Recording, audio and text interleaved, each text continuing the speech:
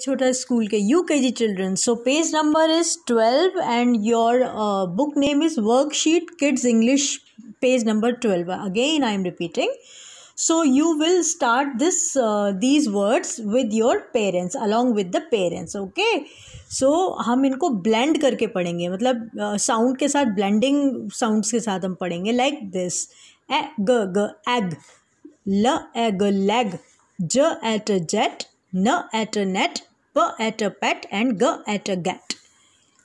Egg, leg, jet, net, pet, get. Again, a gag, a gag, egg, l egg, leg, j at a jet, n at a net, p at a pat, g at a get. Like this.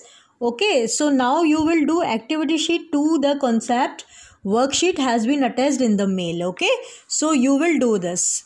मतलब पहले आप इन words को समझो, जिस तरीके से blend करके मैंने आप, मेरे साथ आपने पढ़ा है और अपने पेरेंट्स के साथ भी आप उसी तरीके से रीड करेंगे एंड फिर वर्कशीट जो है वो आप इससे जो रिलेट है वो आपके मेल पर है, वो उसे आप करेंगे यस